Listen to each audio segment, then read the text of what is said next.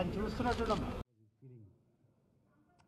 Uh, feeling, uh, of course, a bit upset, but then uh, uh, it was a good game overall, good match, and uh, I think Okuhara, Okuhara also really played very well. Uh, at that time, after 20 all, um, it was anybody's game. Uh, fought hard, but then it was not just my day. That's all.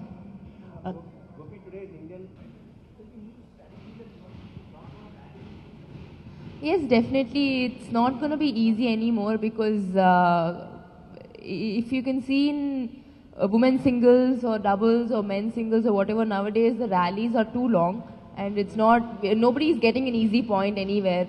So it's just that you have to fight for each point. If you think, uh, okay, fine, uh, let's see what will happen for the first 11 points, uh, it's too far for 11 points. It's just that that particular next point is very important and anything can happen. one question for you. Uh, there's also a talk about uh, the scheduling of the we all would love to come back uh, with a gold and uh, hopefully at 22 she has big medals under her belt uh, three three world championships and an olympic so so four consecutive years of medals and um, hopefully uh, this continues and by the end of her career she'll have a lot more gold um, in her um, cabinet Uh, Gopi, you are always a great, uh, what to say, on fitness. You always stressed on fitness.